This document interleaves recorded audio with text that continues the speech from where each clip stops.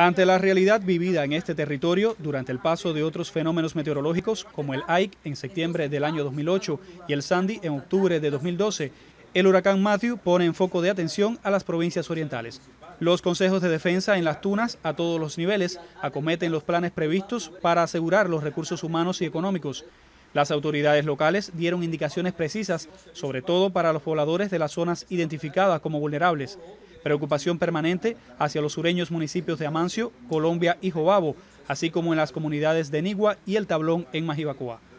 Los embalses tuneros acumulan un 40% de su capacidad de llenado y seis presas están por debajo del 25% por problemas técnicos. Se mantienen los servicios a la población. Los consumidores adquieren los productos de la canasta básica correspondientes al mes de octubre y existe cobertura de harina para la elaboración del pan. Más de 4.500 estudiantes internos en centros educacionales se trasladan desde ayer a sus hogares y estas instalaciones se alistan para recibir a las personas que serán evacuadas con racionalidad de acuerdo a la evolución del huracán. Desde Las Tunas, Robiel Proenza y Joe Hernández González, Sistema Informativo de la Televisión Cubana.